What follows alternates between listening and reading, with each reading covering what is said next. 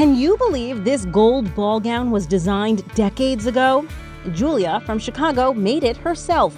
Do another twirl. The inspiration? Her grandmother's fashion sketches from the 1940s. I knew she had gone to fashion school in her late teens, early 40s, early 50s. I knew she had dropped out, but that was really the extent of what I knew. I didn't know any other information. When she saw her grandmother's designs, she was floored. She showed me them. I thought they were gorgeous. She made a comment about wanting them to either be sent out to magazines when she passed on or be displayed at her funeral. I thought, why wait? I didn't know how to contact magazines, but I did know how to make a social media post. I never expected to see any of them in real life. Fans have been loving Julia's TikToks as she showcases her grandmother's work. I'd have to give it a 10. It took her about two months to make this gorgeous ball gown that transforms into a short cocktail dress. She taught herself how to sew. In sixth grade, I made an alphabet letter pillow in home ec.